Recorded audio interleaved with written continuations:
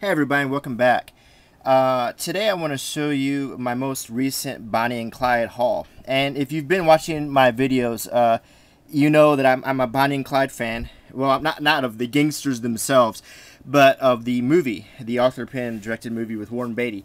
And um, I, I, I'm well aware that it's a work of fiction and it's highly fictionalized. But uh, nonetheless, I, I, thought it was a, for uh, its time and uh, for what it was, I think it was a, a very groundbreaking movie and an interesting period piece.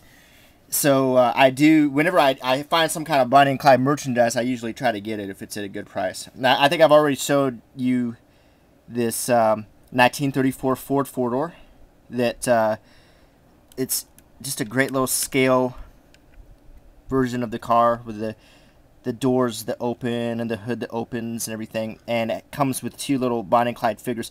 You can get this from uh, I, I, believe it's um, Motormint uh, sells these sets. It was really cheap. I think it was six dollars and 95 cents. It was just a nice little set and uh, the uh, I mean it, it, they're not the best detail but I think you know this is the only little Bonnie and Clyde action figures you can get. So for what they are I think they're pretty cool. And Bonnie comes with a cigar, and they both have guns, and I just think it's really cool. Uh, this is a photograph of them right here.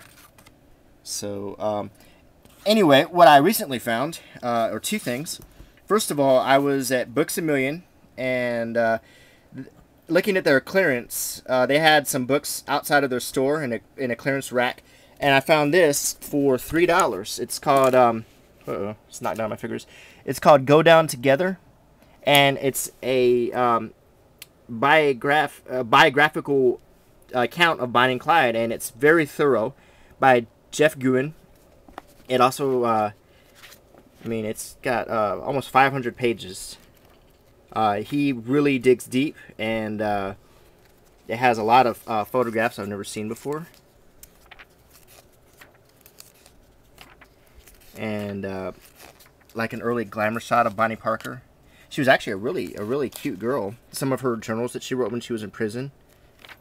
Um, it's just a, a really interesting book, and I've been enjoying it. I've been reading it when I have the time.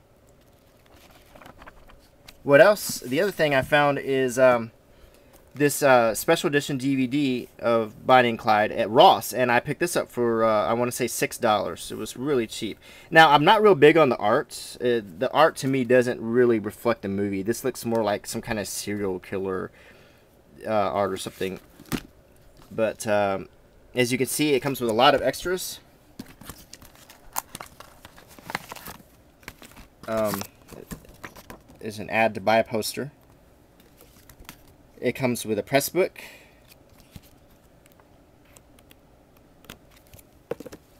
A photo book. Nice hardcover one. It's just really nice.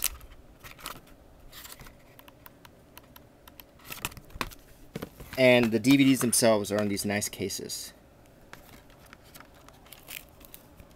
With uh, photos from the shoot.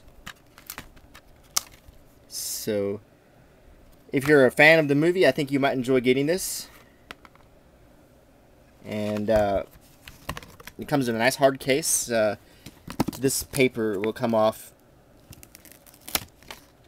And uh, as you can see, the cases. I don't particularly care for the design, but nonetheless, it's a, it's an attractive case. So for six dollars, if you can still find one at Ross, it's definitely worth it for the movies, the special features, and um, you can freeze frame if you want to read about the special features that are on the set.